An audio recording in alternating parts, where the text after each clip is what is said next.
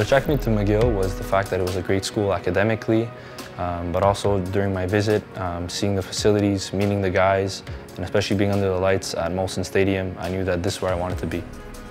To me, being a student athlete is striving for excellence both on and off the field. So whether it's during competition, uh, in the weight room, uh, during our studies, but it's also more than that. It's about uh, building a relationship with your teammates, uh, which we've done here over these past few years. Uh, it's also about giving back to the community of, around McGill. Uh, we've done so much work not only on the field but off the field that it's extremely rewarding. we take great pride in it. Here at Redbird Soccer, leadership is of utmost importance. We want leaders on and off the field. We want people who embody our winning culture, who embody our team, um, and who are proud to be McGill athletes, as we believe that uh, translates to success on the field.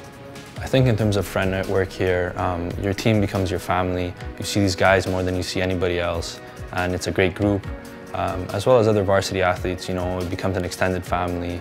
Uh, it's a great community to be in, and especially if you're coming from out of town. Uh, everyone's just here to support you, and you're all living very similar lives. Uh, so it's just great. These are connections, you know, that can last you a lifetime.